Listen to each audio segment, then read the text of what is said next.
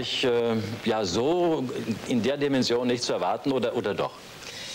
Ich weiß nicht, also mich hat es ein bisschen überrascht, ähm, weil ich vorher Sendungen gemacht habe, die nicht von so vielen Menschen gesehen worden sind. Ich weiß nicht, ob es jetzt nur an der Wochenshow gelingen hat, aber äh, also für mich war es schon überraschend, ja. Bei Ingolf habe ich auch das Gefühl, dass es endlich das Format, das dir eigentlich liegt. Du hast schon so vieles gemacht, ja. aber darin fühlst du dich wahrscheinlich auch sehr wohl. Ja, natürlich. Also ich wollte dieses, ein Wochenschau-ähnliches Konzept wollte ich schon viele, viele Jahre machen. Nur war es damals, äh, 19, Mitte der 80er Jahre, noch gar nicht vorstellbar. Das ist ja sehr viel Arbeit. Das heißt, die ganze Woche sind Leute damit beschäftigt, äh, Texte zu schreiben, zu gucken. Also wir haben allein vier Leute, die rund um die Uhr Fernsehen gucken. Die sitzen da in einem engen Kabuff, haben kein Fenster drin, die kriegen ab und zu was zu essen rein und äh, die gucken halt immer alles, was läuft und dann wird das ausgesucht, vorausgesucht und dann überlegen wir uns eben, wie wir die Sachen gegenschneiden können, wie wir die anders auflösen können, wie wir daraus was Witziges machen können. Die haben wahrscheinlich schon viel, Autoren. Ja. Also viele Menschen denken, das sei alles von uns, also wir hätten das alles geschrieben, sodass dann auch Kritiken kommen, in denen steht, Glück nicht eine Pointe oder Engelke, sehr, sehr lustig. Das, das ist ist... Äh, das ist doch gut, wenn das steht in den Kritiken, oder? ist gelogen. Also wir haben, ein, wir haben ein ganz tolles Team an Autoren, die da... Äh, du musst ja nachher das Anchorman verkaufen und das macht ihr live. Fast immer, ja? Nein, wir machen es also wir machen es einen Tag vorher mhm. äh, und haben aber immer dann auch noch die Möglichkeit, also um ganz aktuell zu sein. Und dann wird es, äh, äh am, wird es nachts dann geschnitten und wird noch wird ein bisschen was gemacht und wird es am Samstag gesendet. Aber es ist eine Live-Situation natürlich. Und wie ernsthaft und diszipliniert ihr an eure Arbeit rangeht, das können wir jetzt mal dokumentieren. Ja. Die Suppe schmeckt es.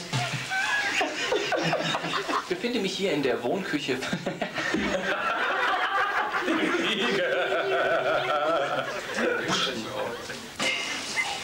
mal was Gutes, aber Außerdem ist der Kopf auswechselbar. Leise Riese Schnee.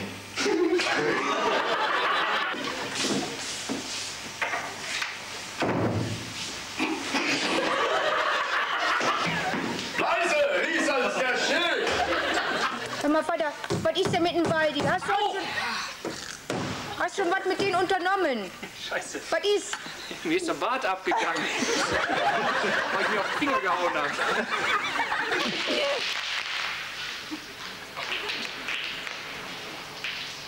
Tritt der Scheich ins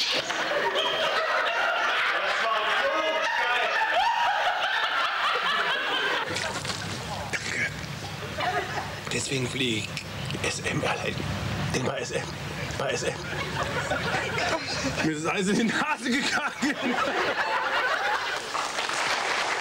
Wer ist denn euer Weltmeister im Verlachen und im Versprechen? Danke. Also, wir müssen erstmal die beiden anderen nennen. Das sind äh, Bastian Pastewka und Marco Riemer. Marco ist sehr albern, da sage ich nichts Falsches. Oder ja, natürlich. Ja, ja. Marco ist ein absoluter Slapsticker. Der, wenn irgendwo eine Stufe ist, wenn der hier wäre, der wäre schon gefallen dreimal. Also der kann das auch sehr gut. Ich bin auch sehr albern am Set. Ich bin sehr undiszipliniert, muss ich zugeben. Ingolf ähm, ist ganz problematisch, weil er immer ein Wort sagt mit SCH. Und, äh nee, ich sagte, wenn man sagt, wenn, klar, man sagt natürlich, wenn, wenn man was, wenn man was äh, veralbert, sagt man meistens automatisch, sagt man, ach Scheiße, nein, ja. ja. Und das sind natürlich dann, aber ich glaube, ich bin dann noch so am diszipliniertesten. Ja, ja. ja. ja. Jetzt ohne Witz. Als Anchorman muss man das auch sein. Man bleibt ganz ruhig immer, ja. Wie schafft man das eigentlich alles unter den Hut zu bringen? Moderation bei SWF 3, Gagtory, also Kabarett, mhm. dann hier die Nachrichtensprecherin Und wöchentlich. Kind, ich ein Kind, kind Mutter, ja. Ähm, Wie geht das geht eigentlich? ganz gut, weil wir ja in Köln arbeiten in erster Linie. Also so ein Drehtag beginnt, selbst wenn er früh beginnt, nicht zu unmenschlicher Zeit. Äh, dann drehen wir tagsüber und wir sind relativ fix. Also wenn wir gut arbeiten, sind wir früh fertig. Das geht schon. Und wenn es Spaß macht. Und wie gesagt, wenn es in einer Stadt stattfindet, ist das ganz gut. Ja, ihr habt eine Gemeinsamkeit. Ihr habt beide einem Kinderchor begonnen. Vor vor ja, relativ langer Zeit. Habt ihr lange Karriere schon hinter euch? Ja, aber nicht in dem gleichen Kinderchor. Nee, nee, also nur in Bielefeld, ne? Ich war in Bielefeld im Kinderchor und äh, hatte da auch so, hatte eine große Karriere vor mir und habe dann also beim Weihnachtskonzert, wo, wo meine Eltern und meine Oma im, im Publikum saßen, hab, hat, hinter mir hat mir einer mit einer Nadel auf der Treppe, wo wir gewartet eine Nadel in den Hintern gestochen und dann habe ich geschrien und gesagt, au, au, au und dann musste ich unten sitzen und alle haben gesungen, nur ich durfte nicht. Es ist jetzt wirklich ganz, du wirst hinterher noch weinen, angeweint, angeweint bei solchen Sachen. Und ich musste, ich musste unten sitzen und durfte nicht mitsingen. Meine Oma und meine Eltern waren im Publikum. Es war ganz schrecklich. Und dann habe ich diesen Kinderchor verlassen. Aber äh, vorher habe ich natürlich da gerne gesungen. Und nachher wollten die auch, dass ich wieder eintrete. Dann be behaltet die kindliche Freude bei.